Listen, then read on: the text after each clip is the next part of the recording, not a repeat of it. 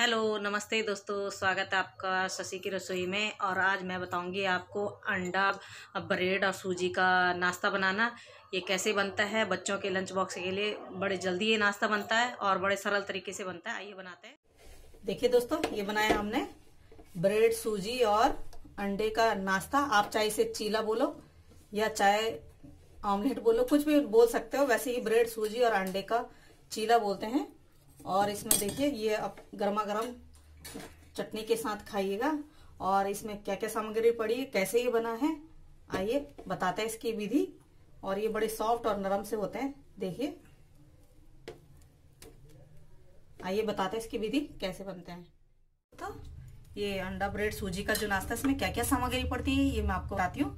देखिए, हमने ये एक छोटी कटोरी, इस कटोरी से एक कटोरी ये सूजी भिगा रखी है। इसे पाँच दस मिनट भिगा दिया हमने पानी में।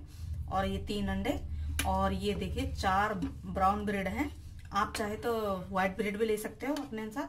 और ये थोड़ी सी कटी हुई प्याज बारीक, ये हरा धनिया, और ये थोड़ा सा अदरक लहसुन का पेस्ट, और ये हरी मिर्च, और ये टमाटर।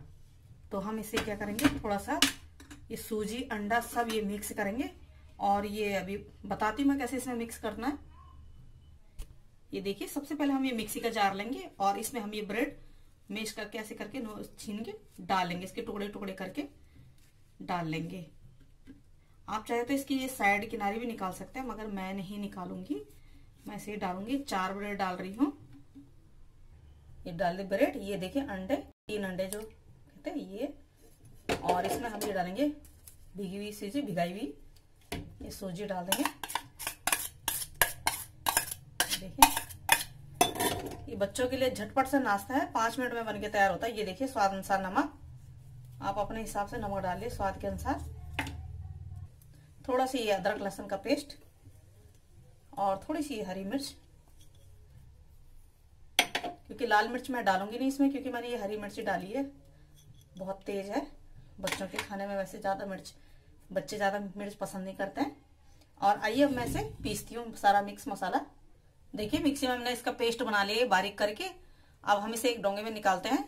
अब इस घोल में मैं मिलाऊँगी ये कटा हुआ हरा धनिया, कटा हुआ प्याज, बारीक, और ये टमाटर कटा हुआ बारीक। इसको हम साबुत बारीक काट काट के डालेंगे ताकि और इसे मिलाएँगे अच्छे से। हमने नमक पहले ही मिला दिया है और ये सारा पेस्ट बन के तैयार हो गया। अब बनाते हम इसे तवे में। देखिए, आप इसे तवे में बना सकते हैं और नॉन स्टिक तवे में बना सकते हैं। फ़िलहाल मैं इसे नॉर्मल तवे बना रही हूँ। ये हल्का सा डाल दिया तेल।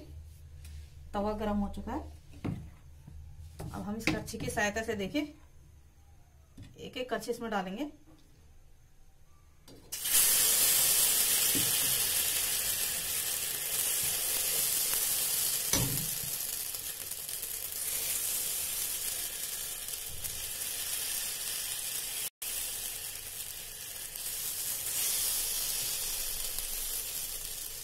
बड़ा सॉफ्ट सा नाश्ता है बच्चों के लिए, झटपट तैयार करने के लिए। अब इसे हम थोड़ा पकने देंगे। पक चुका है। देखिए, बिल्कुल।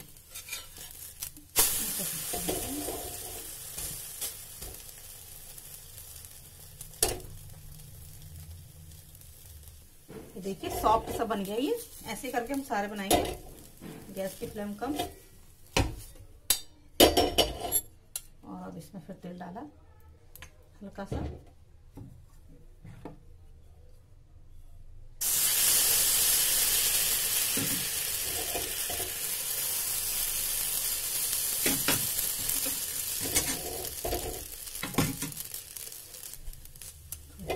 गैस की आँच तेज करनी चाहिए।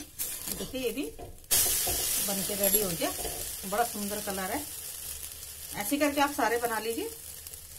जितना आप खाना चाहें। तीन अंडों का, चार अंडे का सूजी जरा जैसे छह जनों का है तो आप ज़्यादा सूजी डाल सकते हैं।